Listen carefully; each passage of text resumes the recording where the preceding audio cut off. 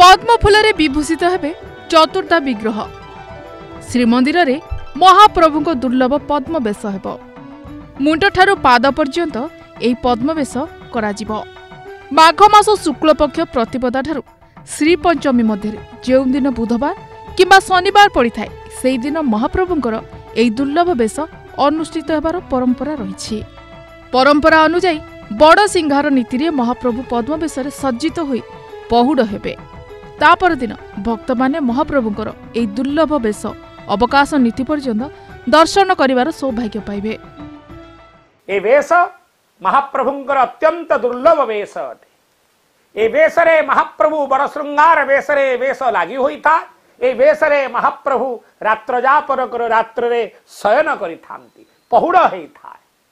ବୁଧ ରାତି ଗୁର ପାହାନ୍ତିରେ ଚଳିତ ବର୍ଷ ମହାପ୍ରଭୁଙ୍କର ପବିତ୍ର ପଦ୍ମ ବେଶରେ ଆପଣ ଭଗବାନ ଶ୍ରୀ ଜଗନ୍ନାଥଙ୍କୁ ଅମଳ କମନ ହେ ଭବ ମୋଚନ ହେ ଭବ ମୋଚନ ତ୍ରିଭୁବନ ଭୁବନ ନିଧାନମ ମହାପ୍ରଭୁଙ୍କୁ ଦର୍ଶନ କରିବେ ତେବେ ଆଜି ମଧ୍ୟ ଶ୍ରୀଜୀଉଙ୍କର ଦୈନନ୍ଦିନ ନୀତି ହୋଇ ସନ୍ଧ୍ୟା ଧୂପ ସମାପନ ହେବା ପରେ ବେଶ ମୈଲମ ହୋଇ ଚନ୍ଦନ ଲାଗି କରାଯିବ ଏହାପରେ ବଡ଼ ଛତା ମଠ ଯୋଗାଇଥିବା ପଦ୍ମ ବେଶରେ ବଡ଼ ସିଂହାର ବେଶ ଅନୁଷ୍ଠିତ ହୁଏ ବେଶ ପାଇଁ କାରିଗରମାନେ ପୂର୍ବରୁ ପ୍ରସ୍ତୁତ କରି ରଖିଥିବା ବେଶ ସାମଗ୍ରୀ ଯୋଗାଇ ସାରିଛନ୍ତି।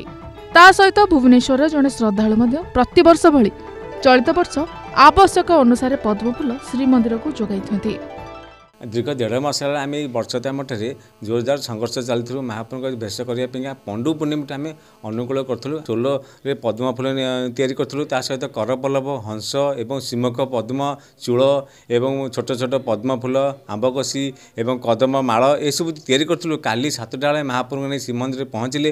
ଯେତେବେଳେ ବଡ଼ ସିଂଗାରେ ଭେଷ ହେବେ ସେହି ସମୟରେ ମହାପ୍ରଭୁଙ୍କ ପାଖରେ ଗୋଟେ ଗୋଟେ ଭେଷ ଯାଇ ପହଞ୍ଚିବ ସିଂଗାରୀ ସେବକ ନେଇକି ମହାପ୍ରଭୁଙ୍କ ଶ୍ରୀମସ୍ତକ ଉପରେ ଭେଷ ମଧ୍ୟ ପରିଧାନ କରିବେ। ଏ ବିଷୟଟି ଆମକୁ ଦୀର୍ଘ ଦେଢ଼ ମାସ ଲାଗେ କାମ କରିବା ପାଇଁ। ଆଉ ଏଥିରେ ପ୍ରଥମ ଜିନିଷ ହେଲା ଯେ କି ନିଜର ଶୁଦ୍ଧପୂତତା ରକ୍ଷା କରିକିରି ମହାପ୍ରଭୁଙ୍କ ସେବା କରିବାଟା ୟା ଦ୍ୱାରା ପ୍ରଥମ ନିୟମ। ତତ୍ପରି ଯାହା ଆମର ଗୁରୁଜନମାନେ ବା ଆମର ପୁରୁଣା କାରିଗରମାନେ ଯାହା ଆମକୁ ଶିଖେଇକି ଯାଇଛନ୍ତି ସେହି ପ୍ରକାରର କାର୍ଯ୍ୟ ପଦ୍ଧତି ଆଜି ପର୍ଯ୍ୟନ୍ତ ବି ସେଇଆକୁ ଆମେ ଭିଡ଼ି ନେଇ ଚାଲିଛୁ। ଏହି ପଦ୍ମଫୁଲ ସବୁ ଶ୍ରୀଜୀଉଙ୍କର ଦୁର୍ଲଭ ବେଶରେ ଲାଗିବ। ତେବେ ଦୁର୍ଲଭ ବେଶ ଦର୍ଶନ ପାଇଁ ଶ୍ରଦ୍ଧାଳୁଙ୍କ ମଧ୍ୟରେ ବେଶ୍ ଉତ୍ସାହ ଦେଖିବାକୁ ମିଳିଛି। ପୁରୀରୁ ସନ୍ତୋଷ କୁମାର ଦାସଙ୍କ ରିପୋର୍ଟ ଓଡ଼ିଶା ସମ୍ବାଦ